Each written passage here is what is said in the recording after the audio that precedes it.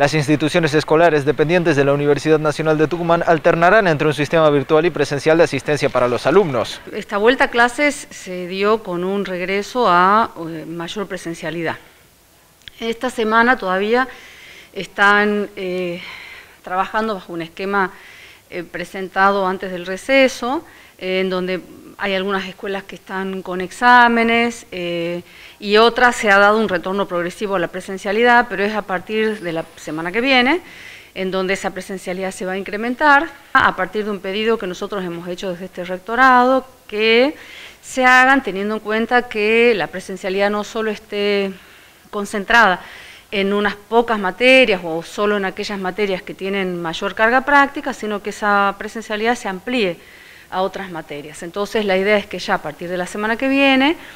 en un esquema de burbujas, nosotros seguimos sosteniendo el esquema de burbujas que respeta, eh, en función a respetar una, un criterio establecido en nuestros protocolos que tiene que ver con la distancia, que tiene que haber entre alumnos de un metro y medio, entonces eso hace que la mayor parte de nuestras escuelas y nuestros cursos tengan que dividirse por lo menos en dos burbujas. Así que el esquema mm, va a ser una semana de presencialidad con una burbuja y la semana siguiente de virtualidad y así se va a ir repitiendo.